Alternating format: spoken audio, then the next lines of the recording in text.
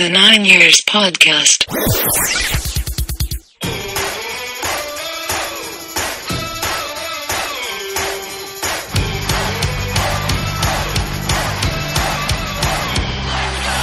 All right, episode 32 of the Nine Years podcast, and we could not start it in a happier mood with this song. Stu, have you any ideas what this music is or where it has come from? I haven't got a clue, but it sounds upbeat. It is very upbeat. Stu, it is the entrance music, the theme music for WWE wrestler Sami Zayn. Any ideas why I've decided to go for a wrestler's entrance theme this week? Because wrestling is on, or there's something happening with wrestling? Oh, you say wrestling, something's happening with wrestling. Stu, this is like Advent. We're currently in the season of Advent for wrestling fans. It is WrestleMania season. We are something like 40 days away from the big one, WrestleMania. So I thought every week I might just drop in some wrestling music into the show to celebrate what is easily the best month of the year. Easily. Except for maybe Christmas. I've rendered you speechless with that one. Yeah, I'm just trying to think, is it WrestleMania like 210, or what number is it this time? Or do they not give it a number anymore? Sadly, do you know what? Oh, I'm in two minds whether I need to launch into this little mini rant. But it is WrestleMania 32 this year. But the last couple, this is the second WrestleMania now in a, in a row where they've not actually mentioned the number because apparently the owner thinks that by saying the number it makes it feel old.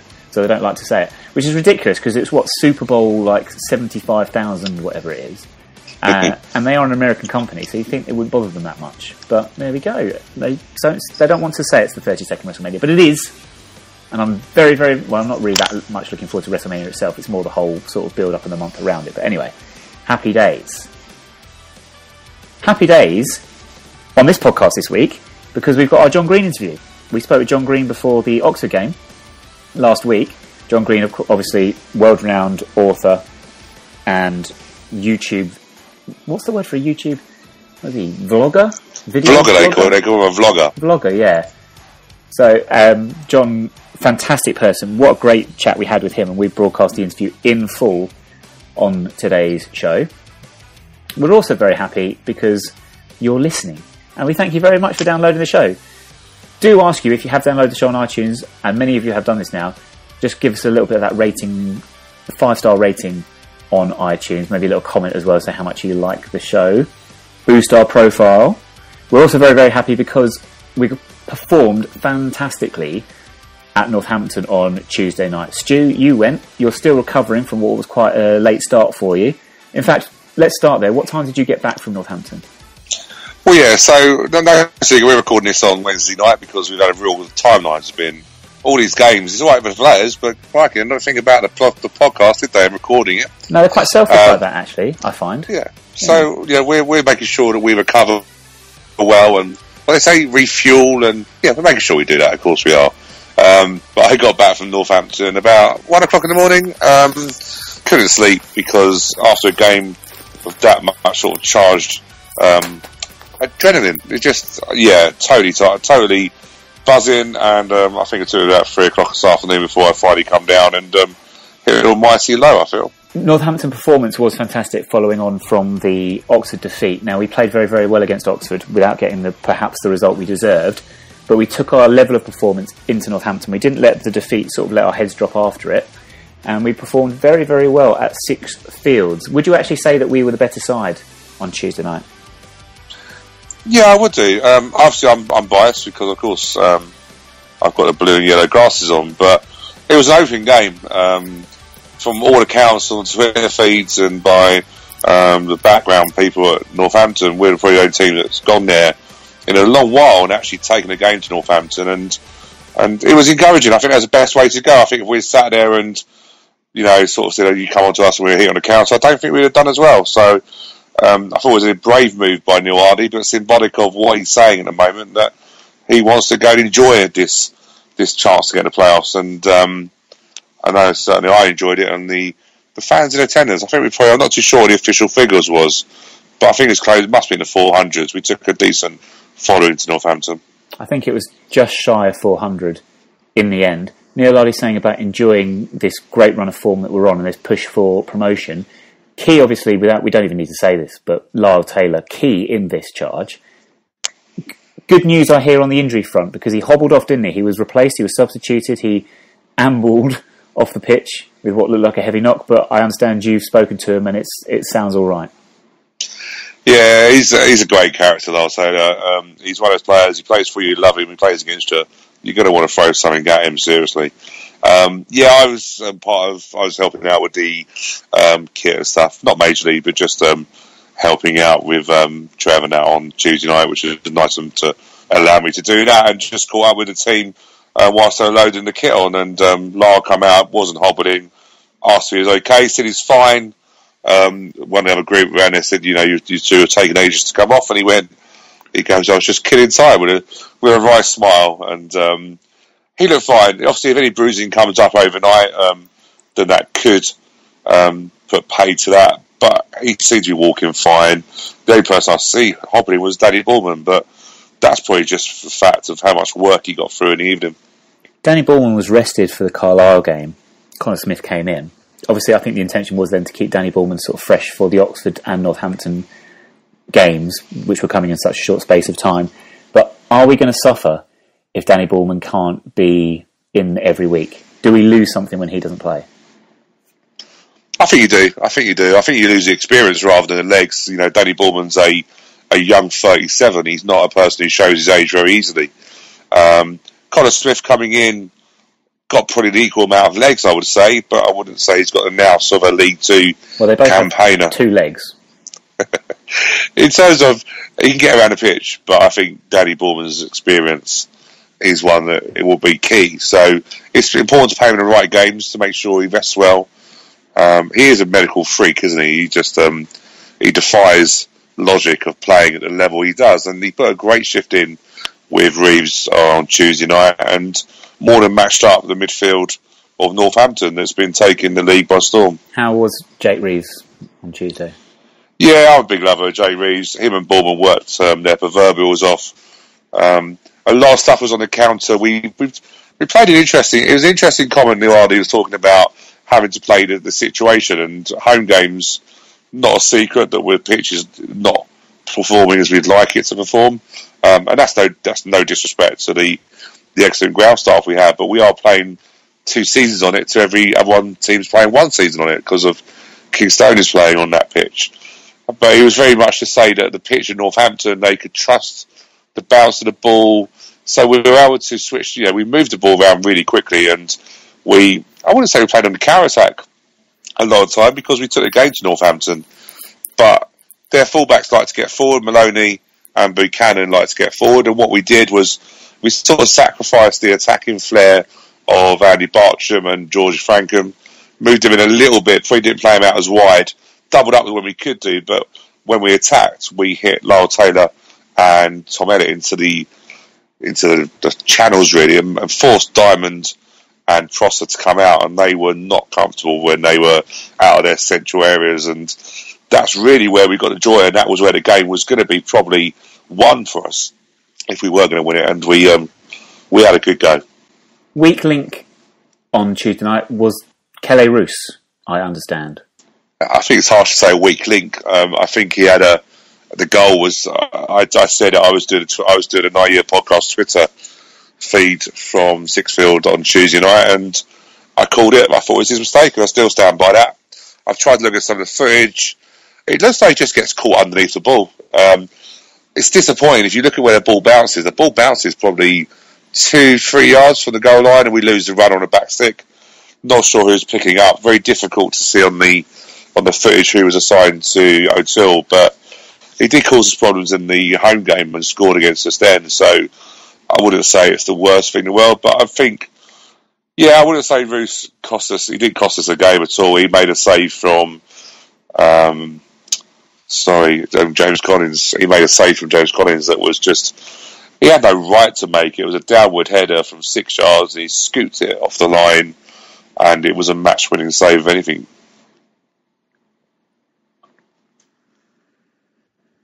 We think about a mistake though for a goal, and it does seem that we are making too many mistakes at, at the moment. We even look back to Barnet the previous week, where we conceded a very poor goal defensively.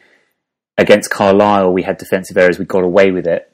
Oxford, poor defending. It has to be said for for both goals. Okay, we need to cut out these mistakes, don't we? If we're going to be realistic playoff challengers.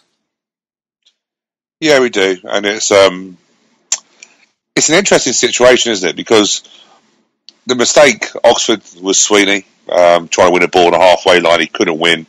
First goal was a throw in that the assistant, um, the linesman, the assistant referee, whatever they call him now, um, failed to pick up that the player was um, was one foot over the line. well, you say you say this, and Neal Ardley was quite vociferous in his comments after the game, pointing this out that the, the assistant referee had made an error. Can please get in contact with us if you're one of these people. I don't think there's anybody in the stadium that at the moment, at the time of that goal, were looking at that, calling calling for it, suggesting that it was a foul throw.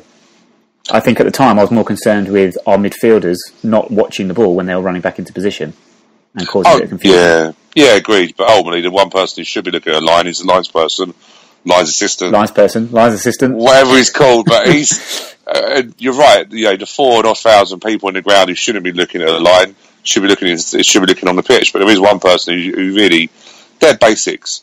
But what I would say is that it happens quite a lot now. The foul, the amount of foul throws that you and I called all we the do time. spot a lot, yeah, we do. There's so many, and it's something that's just been a little bit relaxed. And um, yeah, I suppose you can always say, well, it happens every game, so why is it so important? It's an important game. You know, we're getting to the nitty gritty part of the season, and you expect the officials to make the correct decisions. Um, you can pick, of course, once once the throw is done, Dannie Bulman never faces up once. He as if he's as if he was being warned beforehand by possibly when they were researching how Oxford played, and they like to play the quick throws. So, because Dannie Bulman, as soon as he made a challenge, was sprinting, but he never faced up, never knew where the ball was, and then it was just a car crash for a goal, uh, where Danny Hylton literally tried to roll the ball over the line. It didn't even hit it. It didn't even hit the back of the net, so probably shouldn't count anyway. But um, is that a new rule we're going to introduce that if it doesn't hit the back of the net, it doesn't? It's not allowed. I don't know about you, but I don't like goals when they don't hit the back of the net. If they just crawl over a line, I'm sort of like, oh yeah, but it's not really like a.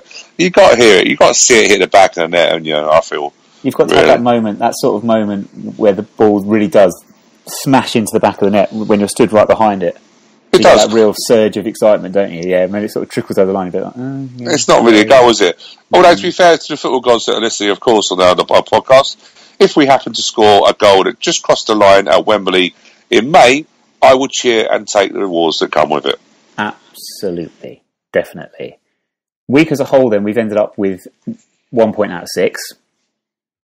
I uh, possibly not what we were looking for, but we should be happy with two good performances, though, shouldn't we? Ignoring the fact that, and even saying that, to be fair, one point out of six, but we're still what one point outside the playoffs with games in hand.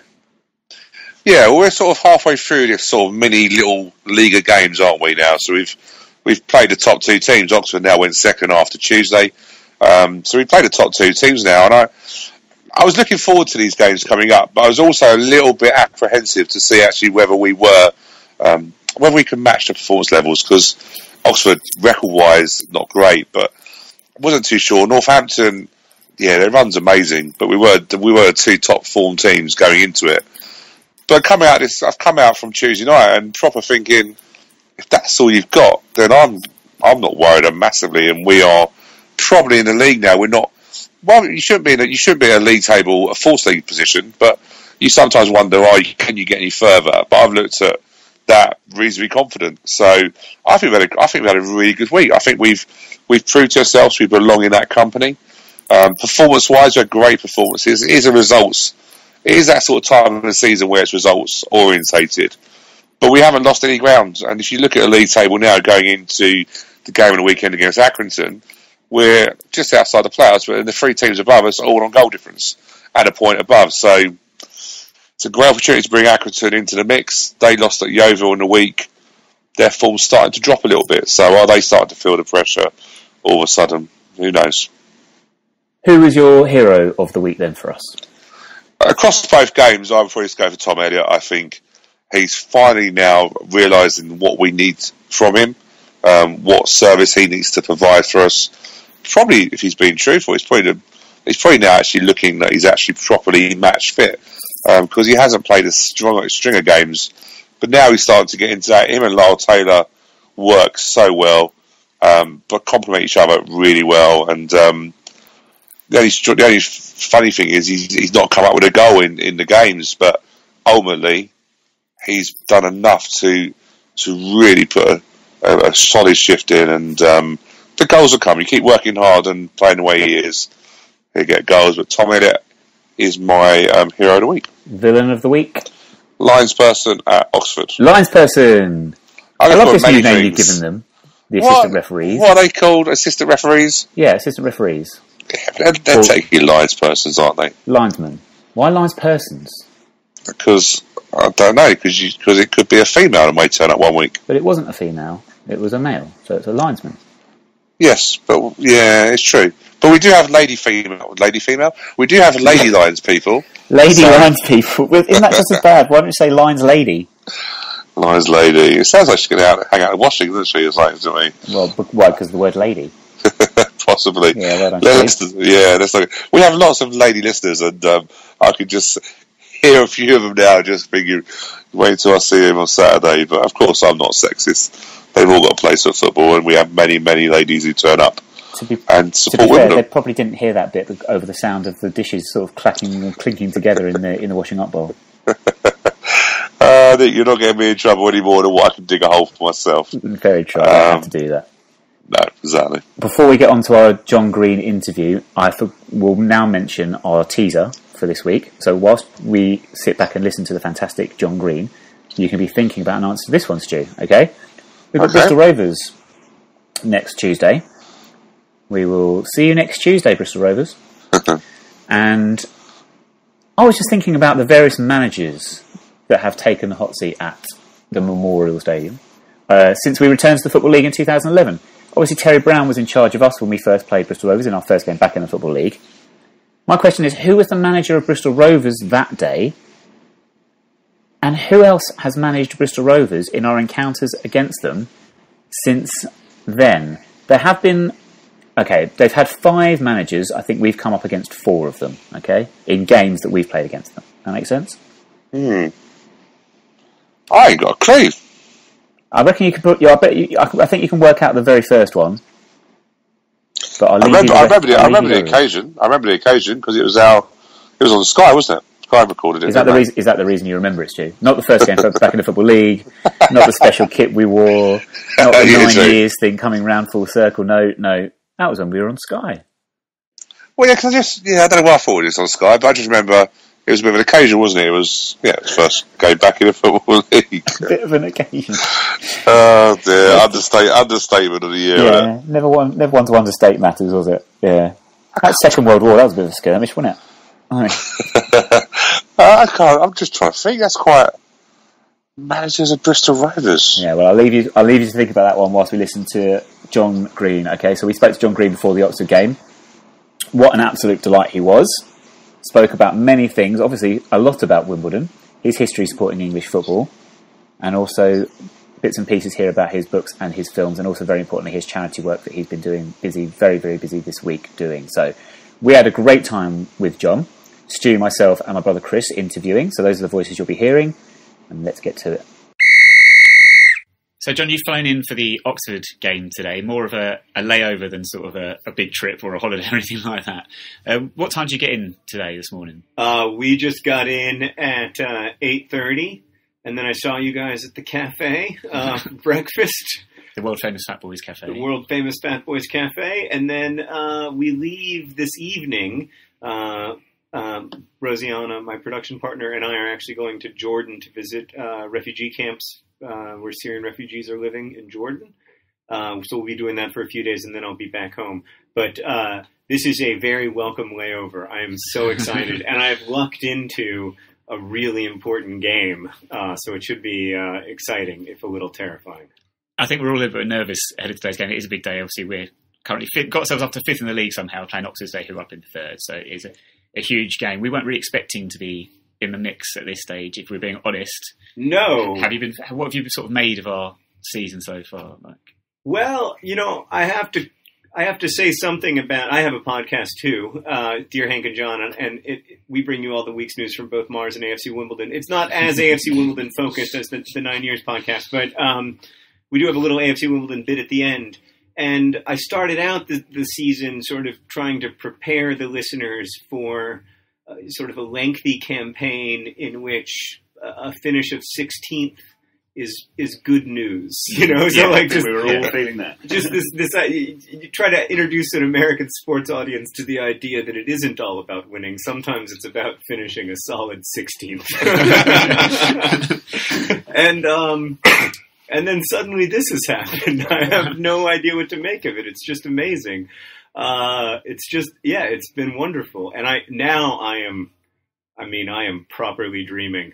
I'm not just dreaming of the playoffs. I'm dreaming of third. Yeah, win today, and we could be really pushing up, challenging for a top three space. it's hard not to think about it. Um, but you know, it's just it's it at the same time like it's yeah, it's, it's just crazy. I'm so excited, and it's been so fun to watch and see all the excitement. Um, even just watching the YouTube highlights and and following along on Twitter, it's incredibly exciting. Like, I, I mean, and also the great run that the uh, youth uh, side went on in the FA Youth Cup, I thought was just really special. Those kids are great, and they I think, say so much about the values of the club and the values of this community. And so I was really proud of them. So it's just been an awesome season. Because they made a video for your lad, I think, didn't they? Didn't Yeah, they made a great va- a great video for Henry. Henry didn't understand what they were saying. It was very, it was very British. English, you Yeah. know. Um, but Rosianna translated for him. but no, he was delighted. He was like, "Is that for me?" And I was like, "I think so, man. Yeah, I think it's for you." Oh, no. So, were you aware about the academy um, before the, the Chelsea game? Were you aware about? Because you're looking in here, we're in the academy room now, Yeah, and you can see obviously we go from under nine straight through to the under 18s. Were- Were you aware of that when you? Yeah, yeah. So when I first talked to Ivor about the possibility of sponsoring the club, um, he told me about the academy, and I know how important academies are to um, uh, to in, in, to English football and English clubs. Um, I didn't know how good the academy was, both on the uh, boys' side and on the girls' side, it must be said. Um, but yeah, it's uh, and then when I watched uh, via Twitter um, the incredible win against Newcastle with. Uh, South London's Ginger Messi, Alfie Egan scoring two goals. It was pretty special. It was quite amazing actually. We played Chelsea down here, and we got what three and a half thousand, didn't we? Yeah. For um, and I think at the time the first team were doing really, really well. Um, but I think it's like nothing better sometimes seeing your own kids come through. Yeah, there's something really special about those players who've come up through the youth academy and now play um, uh, play for the first team side. And uh, Wimbledon has an uncommon number of those players, so I think they've done a great job with youth development and um, and also I think Neal's been great about signing the best best prospects to pro contracts. Definitely. We've been very lucky in the past to have such a good youth setup, but we're lucky now to have reset up with AFC Wimbledon because there was obviously a gap between the Milton Keynes debacle and then Yeah, starting again. But to get it back up to this level and have Sweeney playing every week is amazing. yeah. Will one, one of my back around, all favorite, yeah, Will Nightingale's great. One of my favorite favorite Wimbledon stories is Simon Bassey not being good enough for Wimbledon FC's uh, youth Yeah, team yeah. and getting kicked Mhm. out of the club when he was 16, and then trying out on, uh, you know, Now, now he's here and we can't get rid of him. now, Been he's here here, ever since. now he's here for life. And I to, love Simon Bassey. and to be fair, we get on well with Simon Bassey, but when he first joined, he joined when AFC the trials, didn't he? He. Yeah. And to be fair, he spent more time kicking players, didn't he, than he did really kicking balls. He was good at that. Yeah, he's he never scored, as I recall. No, I He, think um, in his last game he was given a penalty that he did, didn't missed dramatically. I think towards the, towards the end of his towards the end of the season, I think we had a, we had a semi final. We were five 0 up against Coney Hall at Sutton. We got a penalty, Yeah. and we let Bass take it. We thought, right, Bass, here's your chance. You're going to score is. now. And I think it's still travelling now. You might- It's got its on your podcast, you might talk about the ball being found on Mars. I'm, gravitational field now and now go circling the planet. But he's a great link from when we started. We started into non-league and is still here now and doing a really good job as well. Yeah, we, we said at the time, didn't we? It'd be great to have a link from those combined counties days to follow us through to the Football League, and the fact that Simon Bassey is that man, is, yeah, it's fantastic. It just keeps that, as Stu says, keeps that link. and just someone to, to be able to tell that story um, so that the you know the players who are here now know about the club's history. I think the club does a great job with that in general. They, all- they all get it. All the new players get a talk before the season starts. Anybody who joins, they get hauled into the office and they get told the whole story. Yeah. from start to finish. It's Yeah. brilliant that they do that. That's great. That's great. It's important too because you don't want them um, saying, you know, Saying the wrong thing. Yeah, exactly. like a certain ex-goalkeeper of ours who Possibly. may have got that wrong. Will remain nameless. Yeah. I think that's, I think our Twitter um, has got better. Do we have to- Um, so, John, just for listeners that may not know, then you are the world famous author of uh, The Fault in Our Stars and Paper Towns, amongst a number of other books as well. And you sponsor a stand here at Kingsmeadow, which I think it's at the John Green stand. Is It that the one? yeah. Right, okay, good. Yeah, that's that the one. Good, okay. So, um, this all became because you became a fan of the club. Did you become a fan of the club through your work with the, on FIFA with your YouTube videos? Is that how you first sort of became the link with us? And if so, my understanding is you fell upon Wimbledon as we were the lowest ranked team on FIFA. Is that the reason it was we were chosen? No. Um, uh, so I actually, I actually followed the club a little bit before the before the 2011 uh, run through the um, Conference. Conference, yeah. um, just because I knew the story of what had happened, and I was, you know, everybody on the internet, or like hardcore soccer fans on the internet, not everybody on the internet, it's a very small group of people, but hardcore soccer fans on the internet um, have always liked the story of Wimbledon because it is a fan, you know, it's a story of fans winning essentially um, in a in a game where a lot of times it feels like fans are powerless, and uh, so I followed it a little bit, and then when the game, when the playoff final happened in 2011, incredible drama. You know, you have your captain and never played a game of league football in his life score a penalty to. It's a pretty amazing story. Two penalties saved by your 19 year old goalkeeper. It's just the whole thing. It's just like you know, Yeah. out of a movie or Yeah, something. it is. Yeah, Hollywood script. Yeah. Yeah, and um, and so that was when I became a fan. At the time, I was playing uh, FIFA as Swindon because, for a totally random reason, I played my brother, and I remembered that Swindon had beaten Arsenal like 35 years before, and he wanted to be Arsenal, and I wanted to show him that I could beat him at Swindon. But then I started thinking, you know, this is weird to have this advertising money from my uh, FIFA playing because I upload the videos to YouTube and the people watch them, and it's weird to have it like go to me uh, you know, my books are becoming more successful, and that was like less of a concern. And I really got attracted to this idea that I could play a video game with fictional characters that would generate real money for the real version of that club. um, and I thought about doing it with Swindon at first, but then I thought, you know, it, you know, Swindon's just, uh, like a pretty typical English football club and that it's owned by you know a guy who's rich, um, and thought this would be a really cool thing to do with Wimbledon because you know they're a fan-owned club. And then from there, it just got worse and worse. Snowballed from there. or better and better, depending on your point of view. Depending how you look at it. Yeah.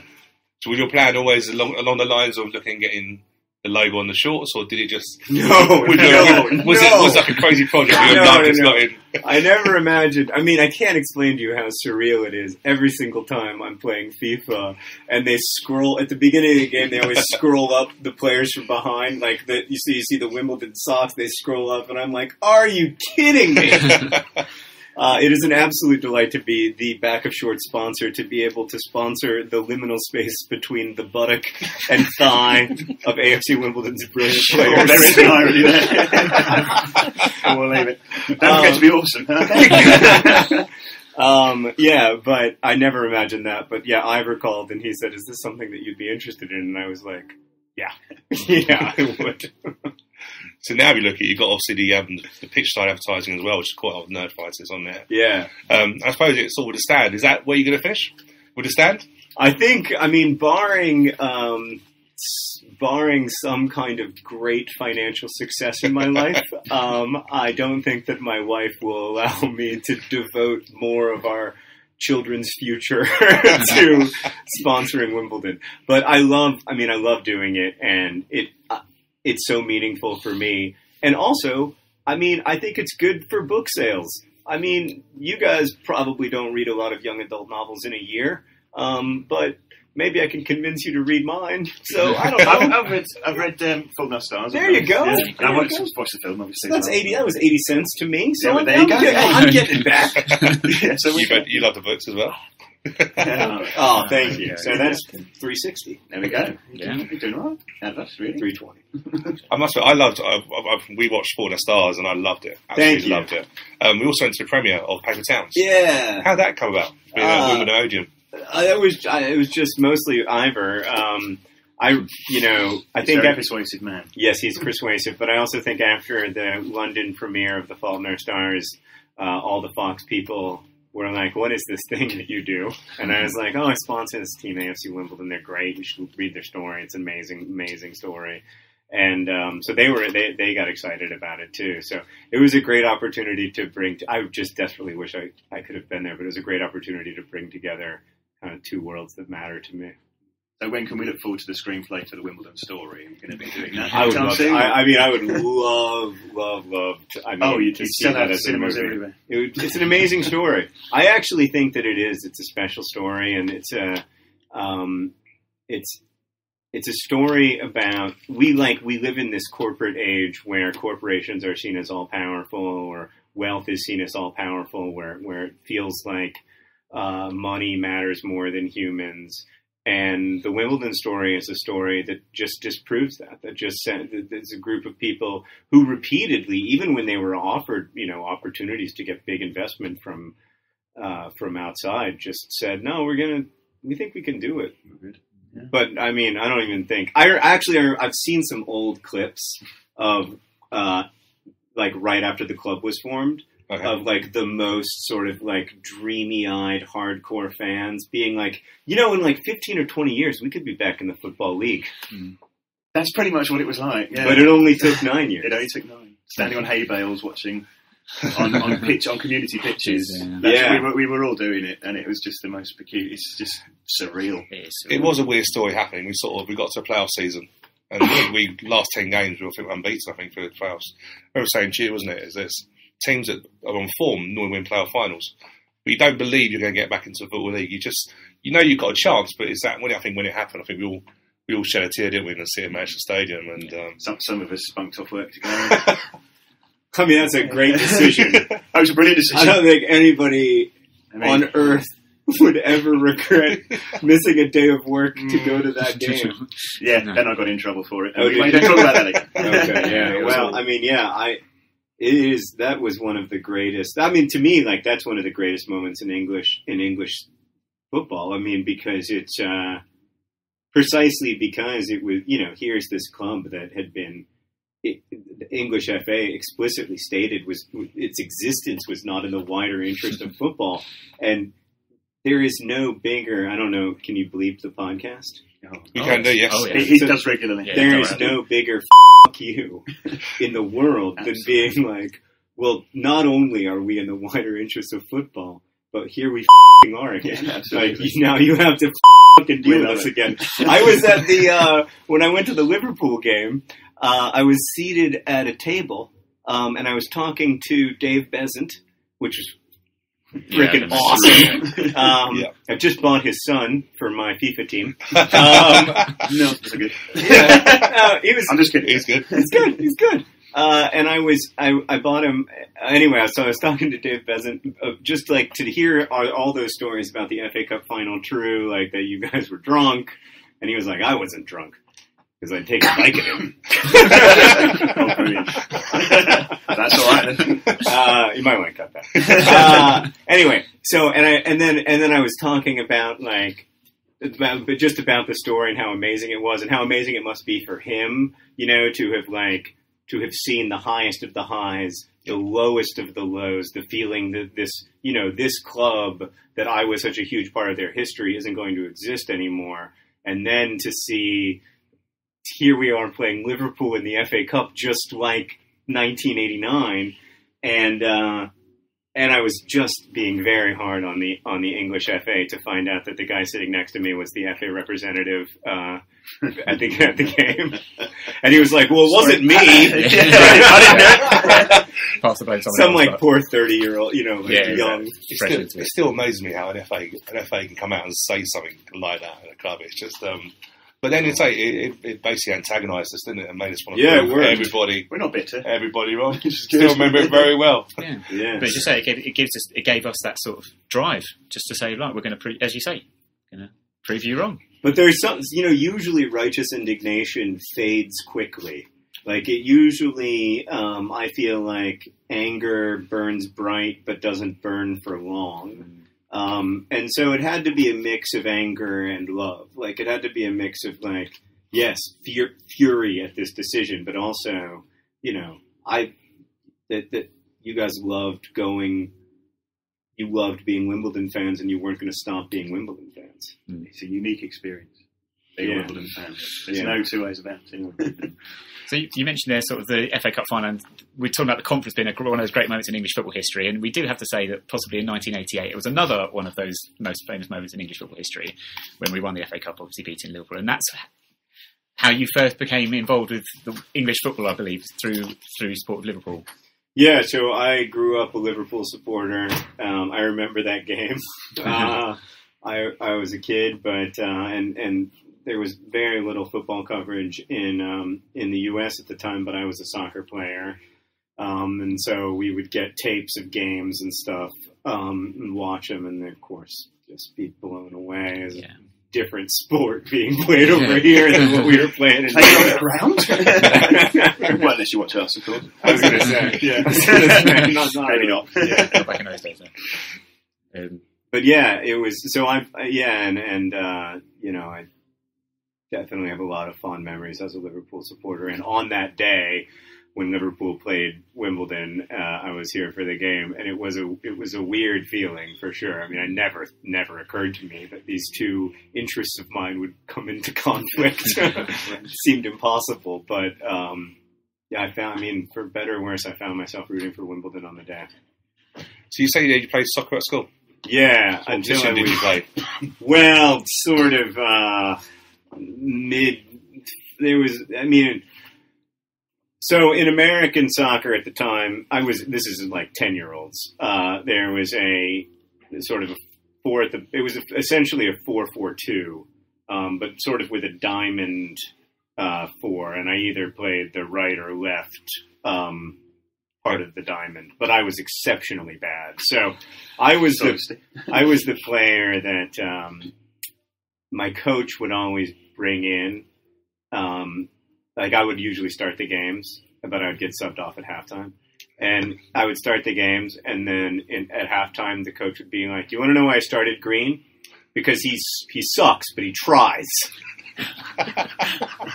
yeah, so I was like, I was the one who was there to motivate the Yeah. other players. They were like, on. "Look how hard that guy's trying, despite how terrible he is." Having flashbacks. yeah.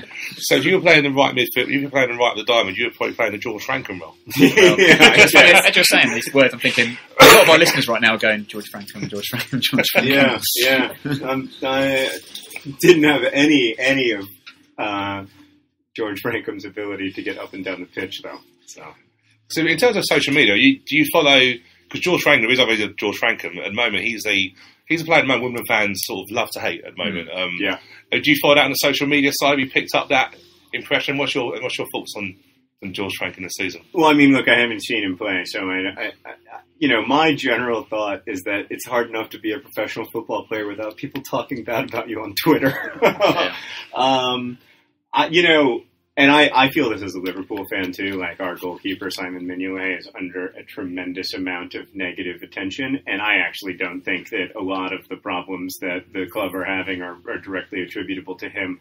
I think a lot of what happens is that it's such a team game, and um, if in a one-on-one situation somebody gets beat, somebody you know does something wrong, that gets so noticed. But the things that they do off the ball, you know, to to pull defenders away, whatever, none of that stuff ever gets noticed because it's you know it's, it's sort of tactical minutia of football. Um, I, I mean, all I can say is that he's great for me on FIFA. He's an absolute He's star. very good, isn't he? He whips the ball into the box beautifully. He scores quite a bit. Um, we call him Frankenstein, um, and I'm very fond of him. Yeah, ten assists this season, isn't he? So Double figures with assists this season, yeah. Not Um, bad.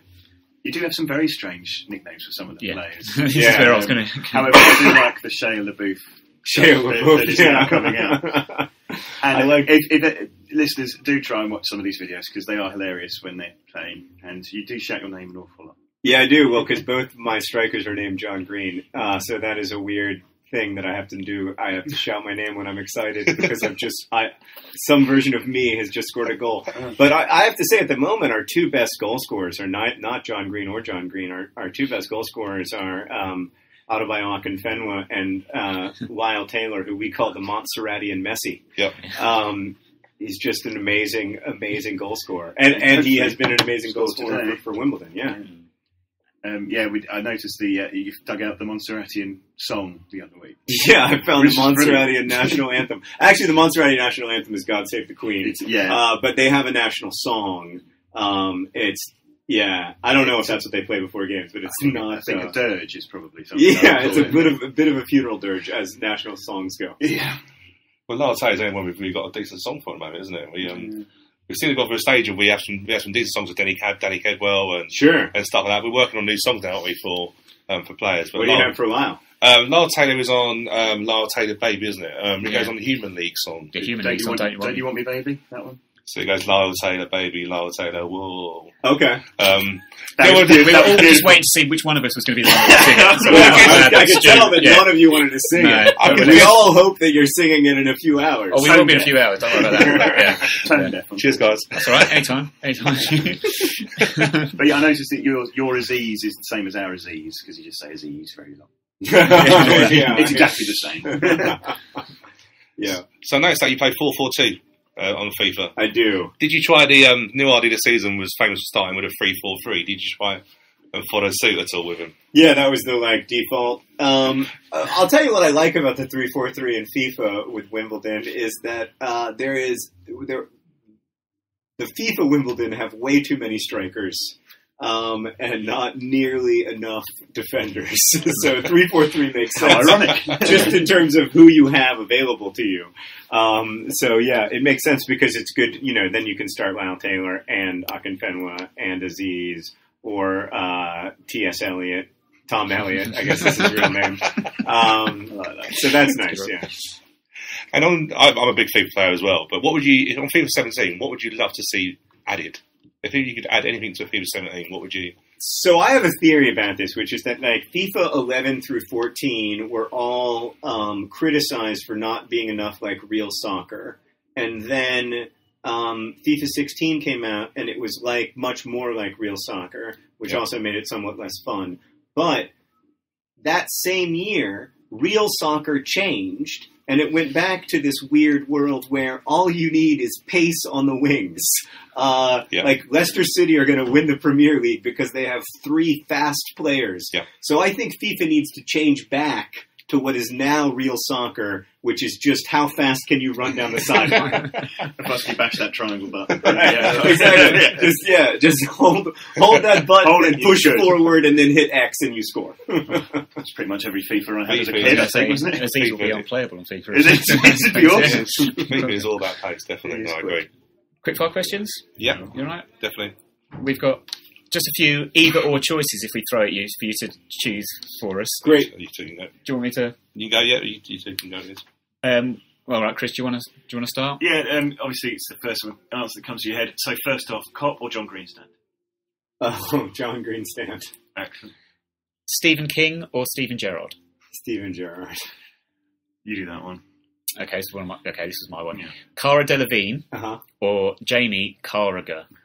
Huh. Good lord. Jamie Carragher. Kirk or Picard? Oh God, that's Yeah. incredibly difficult. Come on. Picard. Ah, good answer. Uh, Colin Baker or Tom Baker? Tom Baker. Good answer. And finally, Terry Pratchett or Terry Brown? Oh, that's hard. I mean, I've got to go with Terry Pratchett. He's a legend in my business. Yeah. It's Yeah, acceptable. Yeah, definitely. So, so, so going with your with your books and that, um, when I went to film, how did you find that? Because I know you were on set, weren't you, when it was being? How did you find your films being put on? They were both really positive experiences. I think that sometimes it isn't for authors. Sometimes it can be difficult. And in fact, like I've had other books that didn't end up getting made into movies, but were like in different parts of the process where it's been extremely frustrating and not fun. Um, but both of those movies were so fun, and I. I really do love the kids who were in them, and I think the you know the pleasure for me is just in knowing that I get to root for those young people for the rest of their careers. And I'm just, in fact, Nat Wolff, who star of Paper Towns, is also in Fault in Our Stars. Just a few days ago, Rosianna and I got to go see him in uh, in a play in New York, and he was so great. And uh, yeah, it's just um, it's been a really positive experience. Um, and plus, it's you know obviously great for the books. Because on from what YouTube footage I see, you genuinely seem to bond with the people that are playing those parts. yeah, and that's rare. I think it's rare for authors to get on set at all, or maybe for longer than a day. It's rare still for authors to genuinely like the movies. I mean, I can't imagine having to go on a press junket for two months, which is plenty dehumanizing. um, I mean, you know, it's a first world problem, but it's not not much fun to, to, to do that stuff. Uh, but it's a lot more fun when you can at least uh, stand behind the stuff that's been made. If I'd had to like go and sell something I didn't like, it would have been brutal. And I saw on one of them you were doing uh, a promotion. I think it was for Your Stars on in, in Manhattan. Was part of Google, and you looked truly amazed by the amount of fans there. How did you find? How did you? You look like you. Yeah. You just looked totally sort of like blown away with it. How did you find all that? I mean, it's so weird. Like, you know, my my most of my life is spent in my basement, either making YouTube videos in my basement or writing in my basement. And I'm a pretty, uh, you know, introverted guy, and uh, you know, and I, I actually, I, I remember what I was thinking then. Um, what I was thinking, I was thinking back to this book signing I'd done many, many years ago with uh, Stephenie Meyer, the author of Twilight, and it was right as Twilight was becoming a big phenomenon, and there were like 70 people in the bookstore, which the most people I'd ever seen in a bookstore by like 68. And uh, and there were like you know three or four kids there for me, and the rest of them were there for Stephenie. And the kids who were there for me were like really nice kids, and they were you know normally dressed. And the kids who were there for Stephenie had like handmade T-shirts where they'd scrawled in Sharpie their favorite lines from the book and their favorite stuff about their favorite characters. I just remember thinking, you know, I just don't write those kinds of books, and that's a bummer because I would really like to. I wish I did. Like I wish that that connected with readers the way that that that, that did. And I remember that's what I was thinking in that moment. I was looking out and I saw a girl who had a handmade T-shirt on, and I was just like, "Who would have thought that?" So, who would have been your favourite authors then when you were younger? Then your younger days, who would you? Who? Whose books were you reading? Um, well, when I was a teenager, I was really into J.D. Salinger's book Mhm. Catcher in the Rye. I love this book, To Kill a Mockingbird by Harper Lee. yeah, just passed away. favourite of mine. Yeah. Yeah, favorite of mine too. Um, and uh, and then I also read. Uh, I was from Florida, and there's a Florida author named Zora Neale Hurston who wrote a novel called Their Eyes Were Watching God that was really important to me when I was a kid. And I was a big fan of Toni Morrison. She was the American novelist who won the Nobel Prize when I was in high school. So it was kind of like exciting, you know, when I was in high school to think that there was this like great novelist, this like major novelist writing now, Yeah. being, you know, recognized now. That was exciting. Um, but I read really broadly too. Like, I Mhm. mean, I read all kinds of stuff. I never read much uh, uh, English lit, I have to say. So I'm woefully undereducated. I've read Jane Austen and uh, the Brontes, um, and I've read a fair bit of Shakespeare, but it doesn't go back much further than that. No, There's, there's an author, Niall Couper. You might have heard of him. I want to read a couple of his books. Oh, yeah, Niall Couper? Niall Couper. Yeah. All right. I'll have a look out for him. All right, I'll check it out. Shameless plug. he might have done a few history of Wimbledon books. Oh, yeah. Did he do This Is Our Time? He did. He Yeah, did it is yeah. that guy. Yeah. yeah, it's an incredible book. Yeah. Almost sit and read that in a day. You laugh and cry. Yeah. Takes you on it, and the memories book. that come flowing back. Yeah. I bet, I Fantastic. What's in the pipeline for you then in a minute with your writing? What's current projects or anything? I'm trying to write a new book. Yeah, I mean, I, I, I'm my goal was to try to finish something this year, um, so that it can come out next year. It's been four and a half years almost since The Fault in Our Stars came out, um, and a lot of stuff has happened in that time that kept me from writing. Um, but I'm finally back to it, which feels great. So this is sort of like a brief interruption. Um, uh, this trip and then the trip to Jordan. Um, you know, important things that I really, really want to do, but then I'm excited to go back to writing and then hopefully won't have any more major interruptions until uh, May 7th. When the uh, when the season ends and uh, Wimbledon secure automatic promotion. Is that, is that a day I'm trying not to? Yeah. Is that a day I'm trying? yeah, well, I have to I have to book flights. Yeah. I gotta, Yeah. I gotta think Think ahead. ahead of the game, Plan yeah. you know, we, we started we started the podcast as we come to the end of it, and we were talking about the you, know, you, you picked the right time to join here in terms of to come today and see the game. Um, I must admit, if any Tuesday nights to go by, it was proper nerve wracking, It wasn't it? was. It was. Um, good, yeah.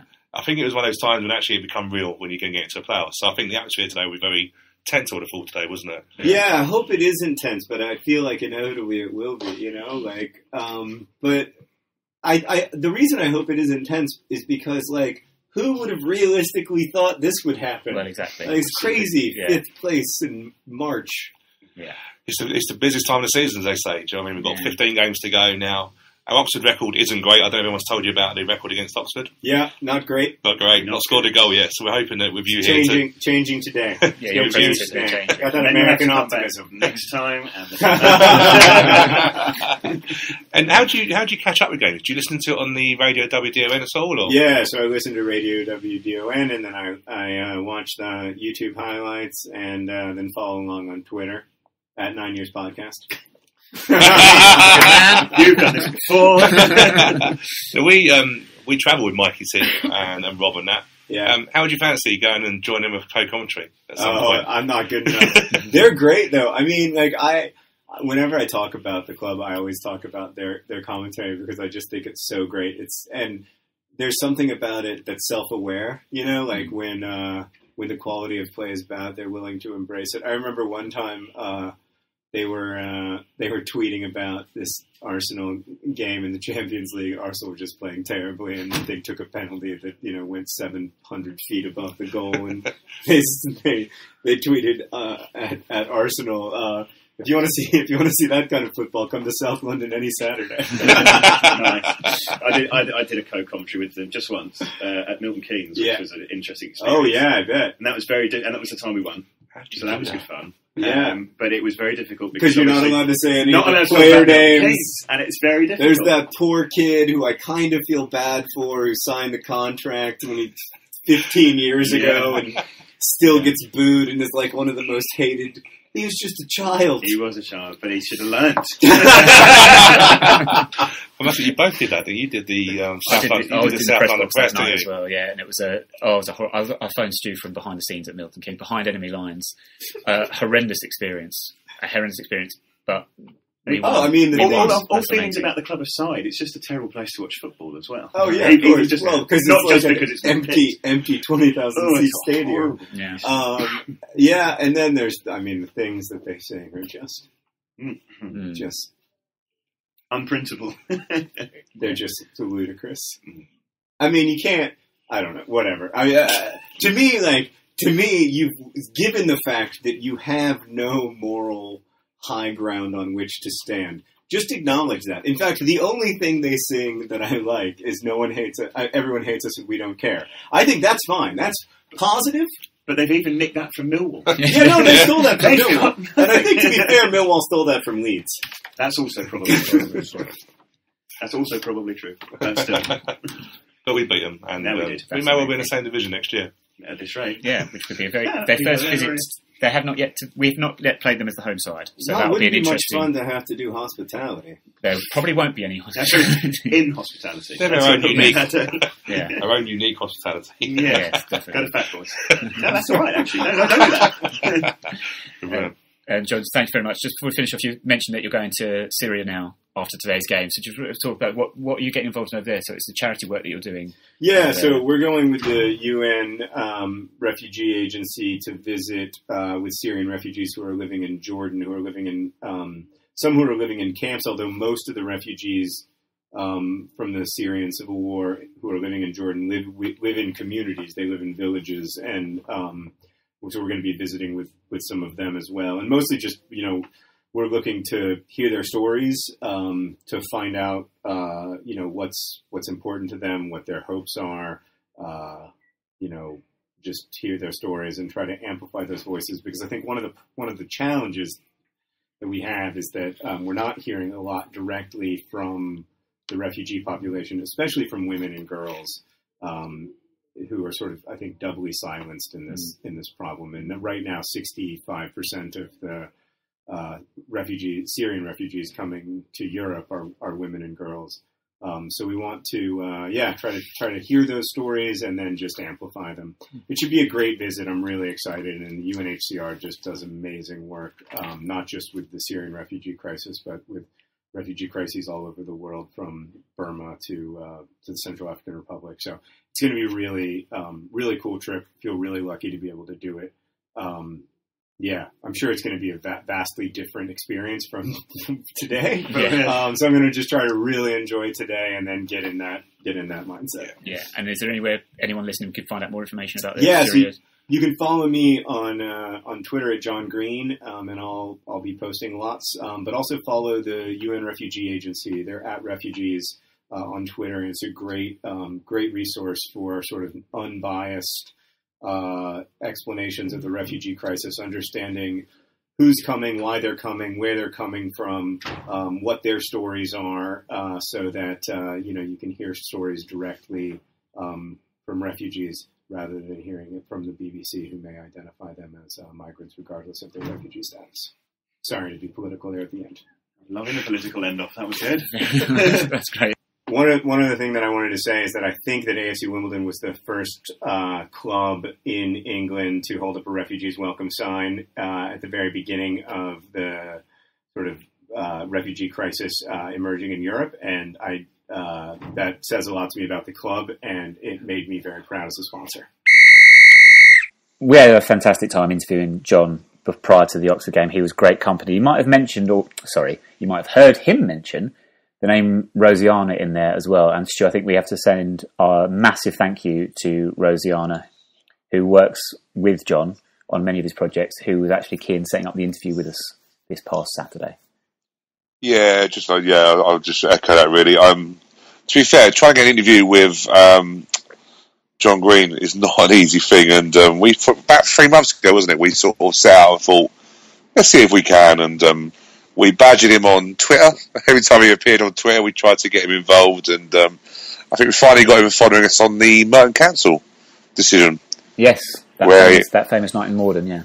Yeah, and he found he um, we managed to hook him and get him to follow, and then same evening he said fancy a podcast, and Rosianna then took over, and um, yeah, she's been great. She's been really, really easy to talk to. You know, we tried to get a few bits and pieces, and um, yeah, she was the one that approached us to get the interview. So really, really, thank you very much. And um, John Green was everything and more that I thought he was. A very intelligent gentleman and great fun, and he switched on about Wimbledon, which. Not, I didn't think he'd know anything. I didn't think he would be clueless, but some of the stuff he mentioned, I was like, okay, you've done your, um, you've done your homework. he he yeah you can tell he talks so passionately about this football club and you can tell that we've really sort of I say won him over but he's fallen in love with us really hasn't he you can tell that in the way he speaks about us Oh, he, yeah, he he ultimately, he ultimately does love does love us. Loves he loves the he, I think he loves everything we stand for, and that that really struck a chord when we were talking to him. But um, he's got, of course, he's an author, but he's got a great way of telling a story or describing things. I think I think we can honestly say that I think we were um, not mesmerised, but we were we we it was a great forty five minutes, and um, it didn't feel really much of a chore getting there early and. Um, and take the time out. It was just a perfect, perfect guest, and um, yeah, look forward to meeting him again when I'm sure he'll be over for the playoff final. I'm sure he will be over for the playoff final Stu we will see him at Wembley before we sign off as well if Rosianna just again thank you very very much if you are interested check out Rosianna's work. Follow her on Twitter at papertime lady and search for her on YouTube as well okay? Obviously John Green I'm pretty sure you'll know the details but check us out. Check at John Green at Sports with John as well on Twitter for updates from him. Thank you very much to the pair of them.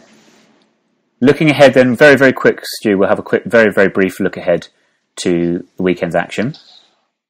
Bristol Rovers next Tuesday we won't look at just yet because obviously we don't know what's going to happen on Saturday when Accrington Stanley visit Kingsmeadow Yeah, I think I think it's safe to look at one game at a time, and you know Bristol will take care of itself. But Accrington, it's a weird one. I looks, you know, obviously it's his chance for a double because we've done the four three beam at their place, which um, look at their form is not a bad not a bad four three win now, is it? Um, bearing in mind that was our debut of Ben Wilson. Who could forget Mr. Wilson's um, time with ourselves here? But yeah, four three were up there. They're doing really well, but I still think I still sense that they're dropping out a little bit. Their form, their form is starting. You know, lost to Yeovil, so you can sense now that maybe I'm hoping that they're starting to feel the pressure. Um, we haven't got a great record to score against them. To be fair, I was looking at our head-to-head record, which I'm just going to quickly call back on now, but we've only won one game out of the last three or four we played them. No point playing them up there. Well, say that we just won the last game there, didn't we? But um, the record up there was quite poor. But we sort of like killed that off with with victory early on. But really, it's going to be a tough game, and um, I'm just hoping that they they they playing quite a few games. I know we are as well at the moment. But they started about a week earlier with the you know, Tuesday, Saturday, so hoping that they are a little bit more fatigued than we are. Any other fixtures that catch your eye on the weekend? It's not bad. It's not a bad weekend for football. To be fair, there's a lot of six pointers coming up. Yeah, Um, spotted a massive one at the top of the table. and that would be Plymouth, Oxford. yeah. It's interesting. A couple of weeks ago, I'd probably said, you know what, that's that's an interesting game. But Plymouth, by all accounts, lost two players um, on against Barnet. Um, trying to think now, one was I think Blunt was one of them, and one was a Loney. But they're starting to pick up injuries, and I, I don't. If, I'm not going to say I told, I told you so, but I remember a little while ago I was talking about their manager playing a little bit of a distress signal, about talking about loans and why the emergency loan window was still open and teams should go along with what they've got. And it just felt to me he was a little bit feeling the, the pinch because of the squad size that he had. And um, I think Oxford will probably go and win that. I really do. I think if any team are catched well out of the top three, Plymouth are the team that will be caught by somebody. I really do feel that. What other fixtures have caught your eye? Anything? Um, there's some interesting ones. Bristol Rovers going up to Notts County. Just the fact, obviously, we played them um, in midweek. I'm hoping Notts County can kick them. They definitely won't beat them, but obviously kick them a bit. Sounds a bit wrong, doesn't it? Um, what else we got? Um, Carlisle, Northampton. That's the interesting one. I think Carlisle are decent. I had a surprised they didn't beat Lane on Saturday, but um, it's Saturday? No, sorry, Tuesday, wasn't it? Yeah, Midweek. Tuesday night. Yeah. Sorry, I had them up there, but I think that's a that's a cracking game as well. Leyton Orient, Luton, um, that's decent. There's some decent ones there, to be fair, but I think your pick of them is Plymouth, Oxford, um, but all the teams around us at the moment have got to keep getting the points, and um, I'm enjoying it. I'm enjoying it because no no real games are going to form massively, and there's a there's a lot of um, there's a lot of unpredictable results happening. It's an unpredictable season, isn't it, across all the divisions? To be fair, Yeah. um, unless Aston Villa are playing, mm, which you know, fairly predictable. That Or. Dagenham, or Dagenham and Redbridge, who just don't seem to win at home at all. But don't worry, they've got us coming up soon. When did they change their name from? Dagenham, Dagenham and Ri- Richmond? I know, I have to do a double check every time I call it out. How you know what, annoying I've got- saying him. I, I was speaking to a guy the other day actually on the train. He was going down to Dagenham and Richmond because he was the lines person for the evening at one of their games. So he was having, he, was- he was a good, he was a good guy. Um, thank you very much to you. Updates from our our games this week available as always on Twitter at 9YRS Podcast. Follow us on Facebook as well, 9YRS Podcast, Periscope app, and Instagram as well. All at that address, 9YRS Podcast. Teaser Stu, did you have a did you have an answer for it? No, I can think. Of, I know Shaun North went there, didn't he? Um, Bristol Rovers. I don't know if he was a caretaker there at some point. Well, I'm impressed you got that one. Yeah, he, that is. Yeah. yeah. Well, I'm very impressed. And that was just purely because of the link of. Um, I was always interested in what he'd done when he left the twenty, yeah, with the three ones and stuff like that, and what he'd done.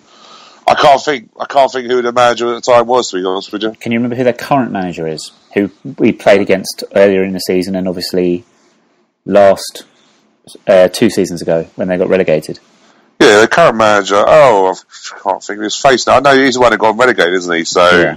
um, he was the ex Clark. He was the ex Yeah, player, wasn't he? Ex player, and Yeah. um, they stuck by him, which is great because uh, not not many teams do when they get relegated. no, they did a good job there. Darrell Clarke, current manager. You're going to kick yourself with some of these names, Stu. John Ward was in charge before Darrell Clarke. Oh, he's the old geezer, isn't he? Yes, that. Looked like a school teacher walking down the touchline. What does that mean? Right. No, but when he walked down the touchline, he looked like he had like, his his like pen and paper ready. He looked very like an old school teacher. All right. Yeah, but you know, don't stereotype us, Stu. That's right. Just have. Yeah, I know, yeah, yeah. Well, this is awkward now, isn't it? Uh, Paul Buckle was the first manager. Paul Buckle, who fa- Ah, yeah, famously ex Torquay, famously quit his job at. Was it? Did he quit his job at Luton to go to the USA? I think he might have done. He did, wasn't he? Seeing wasn't wasn't he um, seeing one of the um, Setanta or not Setanta, yeah, no, but it was. or ladies, wasn't it? Yeah, it was. I can't remember her name though. Blonde girl. Yeah. She's now she's now BT Sport, I believe. Okay. I wouldn't. I wouldn't know. But yeah, Paul Buckle and Mark McGhee. Oh, Yeah, husband of Debbie McGee. Dougie. No, actually, that might be a lie. so there you go. Yeah, forgot about that. Yeah. Interesting. Thank bit- you for a bit of uh, trivia on Bristol Rovers. Anytime you're listening to the Bristol Rovers podcast. Stu, that's fantastic. We're actually going to finish the show slightly differently this week, only because we have a little bit. We have we've got a little bit extra John Green to finish on this week. I'm sure the listeners will love this. Okay, so we're going to get John Green to introduce the last feature of today's show. It's time for the birthdays game here on the Nine Years Podcast. How cool is that? John Green, actually, we gave him a list of things, a lot of sound bites to record for us. And he was a great sport, and he did them. Well, I say he did them all. There was one that he wasn't. He wasn't too happy about. Hi, I'm John Green, co-founder of Nerdfighteria, and like most of the United Kingdom, I can't say I hate Watford. That's him. yeah, I'm not saying I hate Watford. My, my, so I have an across the street neighbor randomly in America who is a m- like he's a massive like from birth Watford fan. Oh, really? And when, so, uh, let's insult. And when Friends. Henry was uh, when Henry was one, he snuck a Watford fucking Watford bear into Henry's crib, and Henry still uh, has it and loves it because, of course, you give a baby something, they get attached to it. Yeah.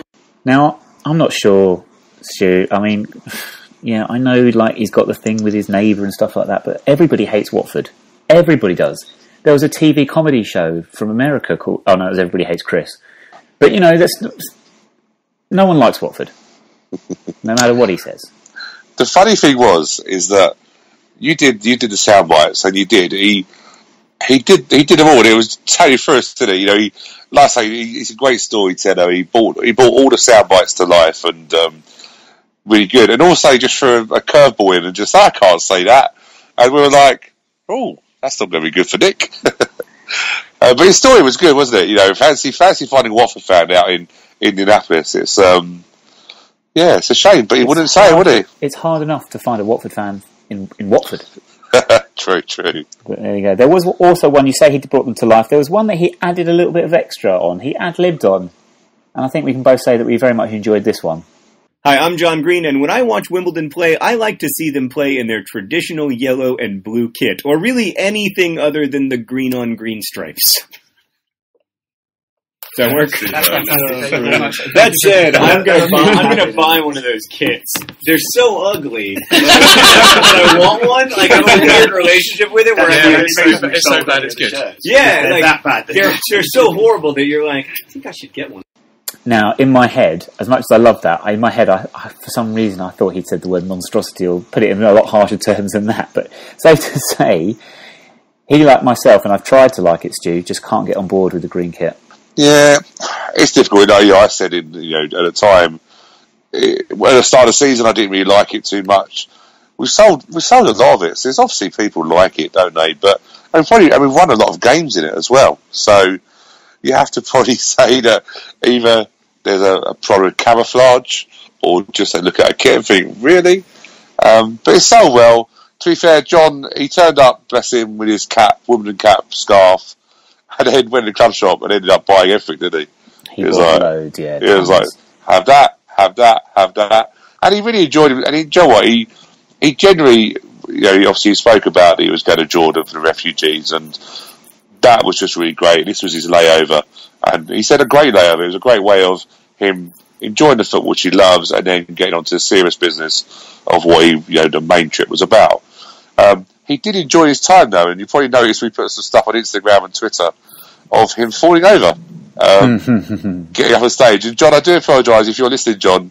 I do apologise. That was me that recorded it, and I did put it on there. But I just, um, you were such a good sport, and you had, enjoyed yourself, having a good drink with the lads, and um, it was just nice to have a little bit of either saying you fell over Although normally we do say she fell over, but we were, we were kinder because it was you. He also very much enjoyed the birthdays game, but we're going to play that next week because they've got some birthdays for next week that we gave him. For this week, let's quickly run through them. Before we do two very, very, very, very, very important birthdays, let's do one less important one. Celebrating on Wednesday, so yesterday, if you're listening to this on day of release on Thursday, was Harry Redknapp, former QPR, Tottenham, Portsmouth, and West Ham account uh, manager. Sorry. How old do you think he has turned? Harry Redknapp. Um, Yeah, he's one of your favourite numbers. He's older than what? I reckon, yeah, he's. He must. He must be late 50s, possibly in the 60s now. I'm to go for. I think he might be in the 60s, maybe wrong, 62. He's almost 70. He's 69. Wow. I know. I was trying to think back of when he was um, manager at Bournemouth, and I remember they had an FA Cup run. I was trying to work in my head the sort of centuries that he'd not centuries, but these centuries feels like centuries.